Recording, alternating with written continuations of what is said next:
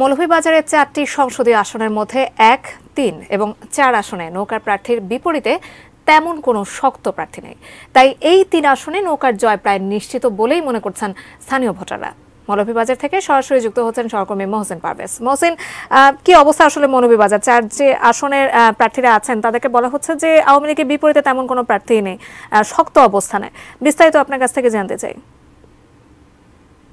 আপনি বলেছেন মৌলিদার মৌলিদার জেলা হলো আওয়ামী লীগের দুর্গ এখানে আওয়ামী লীগের বিজয় তারেকভাবে অব্যাহত রয়েছে। এই জেলার চারটি সংসদীয় আসনের মধ্যে মৌলিদার এক তিন চার। আসনে নৌকার প্রার্থীর বিপরীতে শক্ত প্রার্থী না থাকায় এই তিনটি আসনে নৌকার জয় প্রায় নিশ্চিত বলে মনে করছেন ভোটাররা। এদিকে মৌলিদার জেলা খোলাউড়া দুই আসনে।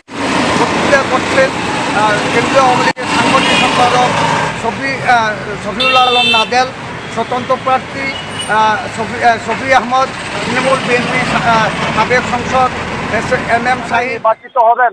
চা বাগানের বুট একটি ফ্যাক্টর হয়ে দাঁড়িয়েছে।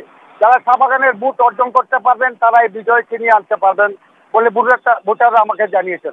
এদিকে মৌলিদার তিন আসনে একজন নতুন প্রার্থী দেয়। জেলা আওয়ামী লীগের মধ্যে বিবেক সৃষ্টি হয়েছে। এ নিয়ে মলির জেলা আওয়ামী লীগের মধ্যে নেতা কর্মীদের হতাশ বিরাজ করছে। এই ছিল মলিদারের বুথ নিয়ে আমার শেষ তথ্য